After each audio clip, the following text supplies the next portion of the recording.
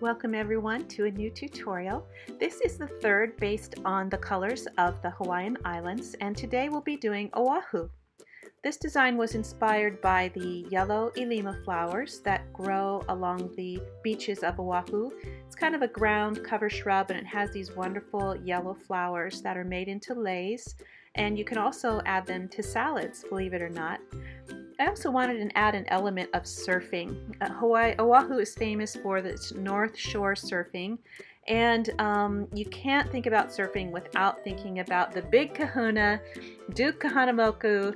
He is the ambassador of Aloha and has such a wonderful story. He's from a large Hawaiian family of six boys and three girls, descended from Hawaiian royalty, and he introduced the sport of surfing to the world.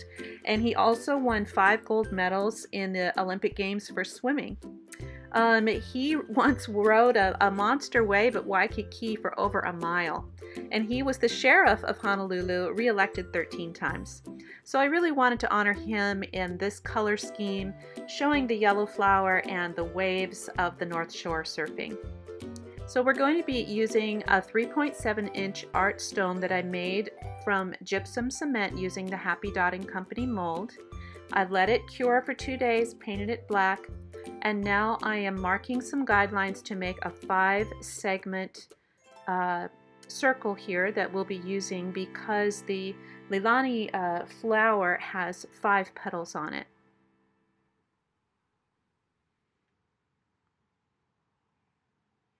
So I'll be marking this, drawing out the five guidelines with my General's charcoal white pencil. And then I'm going to mix up some acrylic paints, including white, yellow, golden sand, orange, red, green, turquoise, and light blue. That will be our color scheme today. To get the bright yellow, a lot of people ask me, how do I get a good yellow? How do I get a good orange?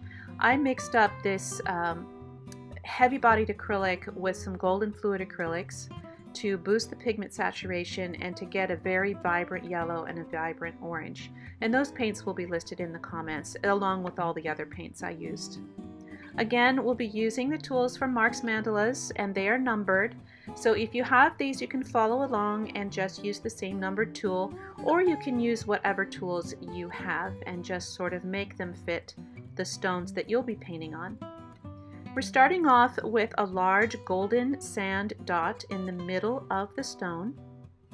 And then we'll be putting a small red dot on all of the guidelines, just as close to that center dot as you can without touching. And here's the tricky part. You're going to fit in two more dots in between those. Just filling up that space, trying to make sure that they don't touch. So you want to make sure that your red paint isn't too thin so it doesn't bleed out and just form a blob. Now we're switching to the orange and we're going to put five medium orange dots right on the guidelines.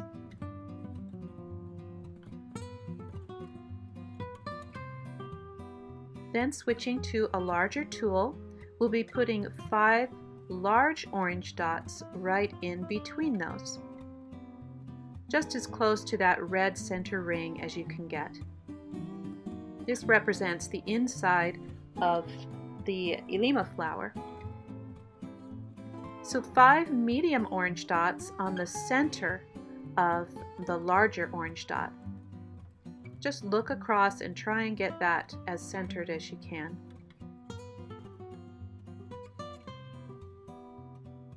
Now we're switching to the yellow paint and putting five large yellow dots on the guidelines.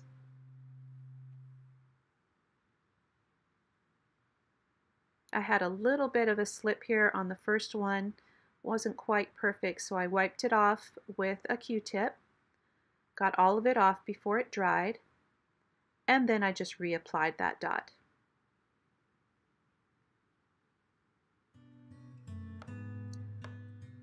I've also learned to tap my stone to make the dots flatten out a little bit. So now I'm switching to this wonderful golden sand color And I'm adding same size small dots around the large gold dot. This is something we talked about in the previous tutorial about uh, taking your time and making sure that you get the spacing right on these. And we're going to do this on each of the large gold dots. There. Now moving on to make some large dots in that golden sand color. And they will be placed in between the guidelines, right up against that small orange dot. And these were a little bit too peaked. My paint was a little thicker, so I just swirled them and tapped the rock to get that to flatten down. Now I'm going to add a yellow dot right next to the guideline. This is kind of a strange spot.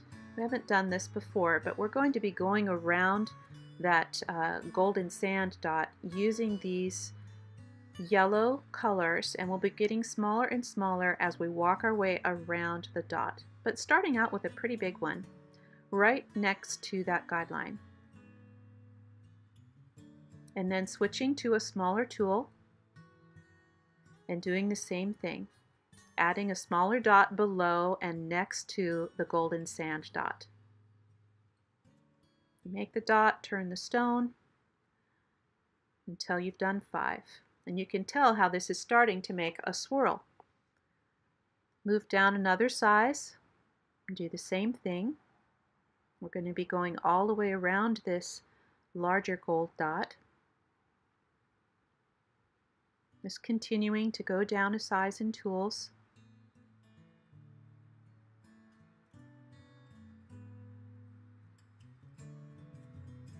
And then once I got to the number six tool, I decided to just walk those dots up around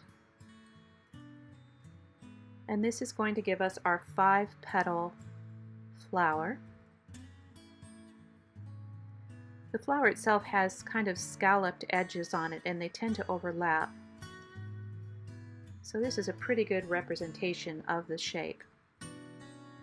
Now we're switching over to the green and we're going to add five medium green dots off to the side of the guideline right in that space.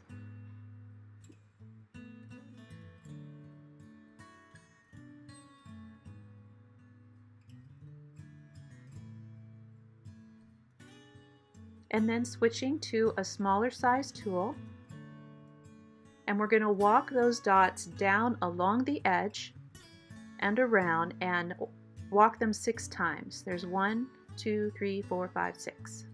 One, two, three, four, five, six. And do that all the way around.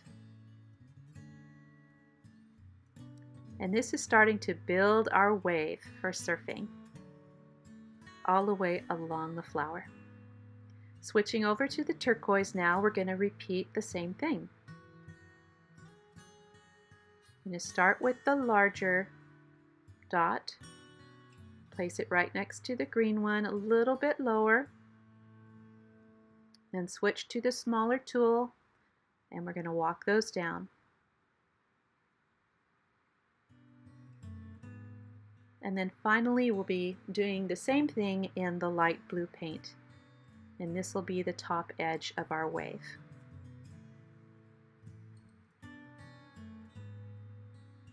Just sort of hugging along the shore here along our stone. And it gives a wonderful swirled effect. Now adding a yellow top dot to the center of the stone.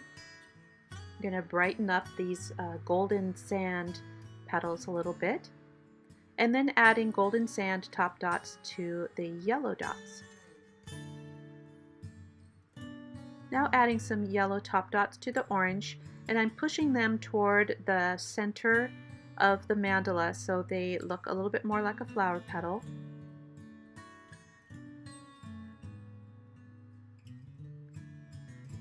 And then adding some yellow top dots right in the center of the smaller orange dots. Now back to our yellow paint and centering some yellow top dots on the largest petals, brightening those up. And then we're going to brighten up the edge a bit by adding some white top dots to that row that we walked around the outside of the petal. And that's just going to make the mandala have a bit of a glow.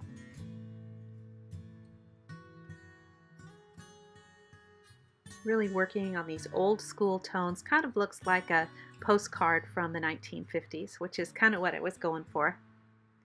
And then we're just going to fill in that space with a couple yellow dots.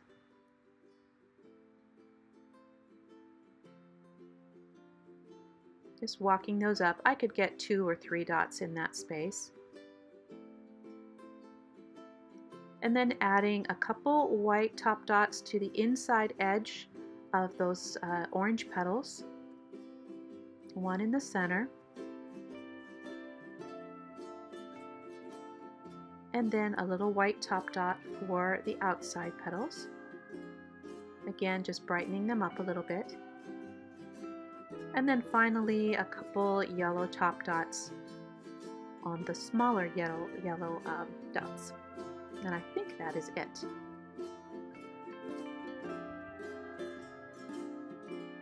Yeah, all done. And we're to let this dry and I decided to do the art resin on these. I'm to show you how to do this again. I allowed the stone to dry overnight and then I'm mixing up equal amounts of the two bottles in my little measuring tablespoon here. I filled it up halfway and then I filled it up the rest of the way with the hardener. And I'm going to pour that into my little bowl and mix that up for about three minutes till it gets almost opaque.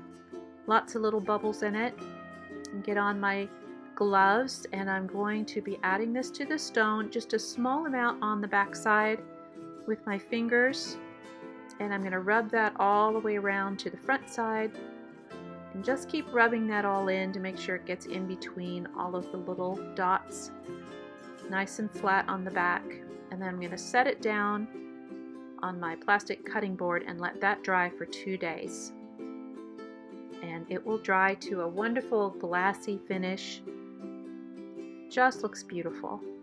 So I hope you'll give this a try and stay tuned for our next island which will be Maui. Thanks for watching everyone.